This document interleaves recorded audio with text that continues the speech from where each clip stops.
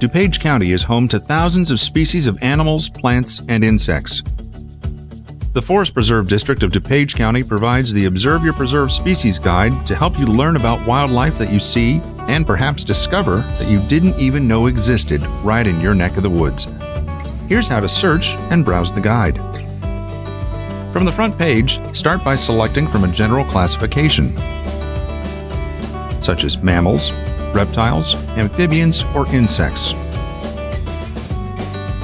Your search will be automatically narrowed to the classification you clicked. Notice that your species search guide shows that you are searching within vertebrates, which are animals with vertebra or backbones, and within the amphibian classification.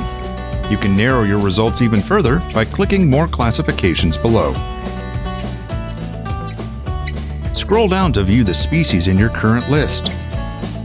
Keep scrolling, and the species page will keep loading as long as there are more species that match your search and filter criteria. Want to see what is common, uncommon, rare, or even invasive? Select the buttons to show only those species. The species filter bar near the top of the page always shows you what species classification you are currently searching within. Each time you narrow your search, you can see exactly where you are in the species classifications and filters. You can also use the bar to navigate back and widen your search results. The keyword search box can be very helpful at finding species for which you know the common or scientific name.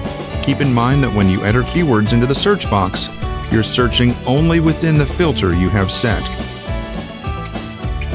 So, if you want to search the entire species list, click on Species in the filter bar to remove all of the filters you have in place and perform a wider search. You can also sort your list of species by clicking on letters of the alphabet. This narrows your search to only the species that begin with the letter you have clicked on. When you've located the species you're interested in, click or tap on the species to find out detailed information, including best times to observe,